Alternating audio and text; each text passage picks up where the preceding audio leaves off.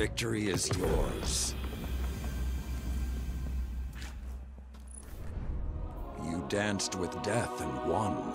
That was poetry in motion.